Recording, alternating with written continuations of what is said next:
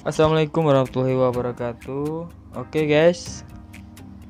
Jumpa lagi di channel saya Riko Saputra. Pada kali ini saya akan membagikan Bagaimana cara membuat pola kerah Shanghai. Sebelum kita ke tutorialnya alangkah baiknya subscribe, like, and share agar video saya berkembang.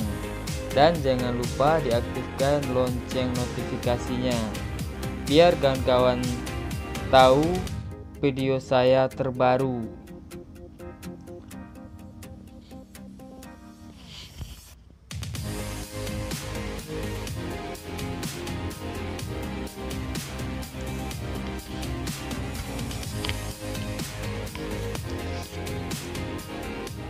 Pertama, kita lipat dua kertasnya.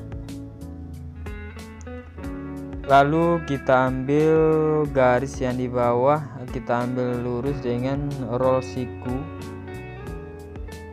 Setelah kita garis di bawahnya, lalu kita tandai naik ke atas 3 cm. Lalu kita garis lurus sesuai tanda yang kita bikin setelah itu dari sudut kiri kita tandai 21 cm lalu kita garis lurus lagi dengan roll siku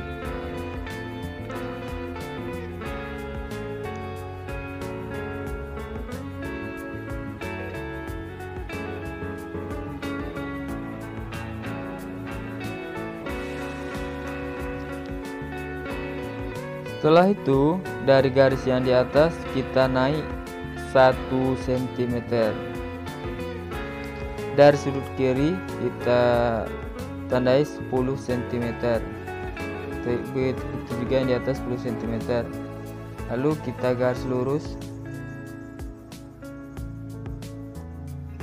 Dari titik ini ke titik ini kita garis melalui memakai roll melengkung sesuai pola kerah Shanghai tersebut.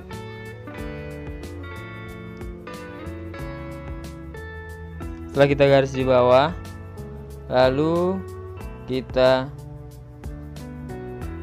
tandai ke atas lagi 3 cm, tapi garisnya serong. Setelah dari titik ini ke titik ini kita garis dengan roll yang melengkung tadi.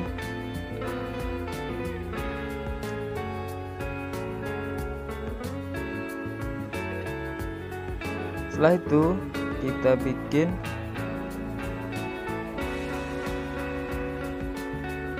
pakai roll melengkung sesuai keinginan kawan masing-masing sesuai apa mak apa yang mantapnya atau cocoknya lah untuk kawan-kawan semua. Terima kasih. Assalamualaikum warahmatullahi wabarakatuh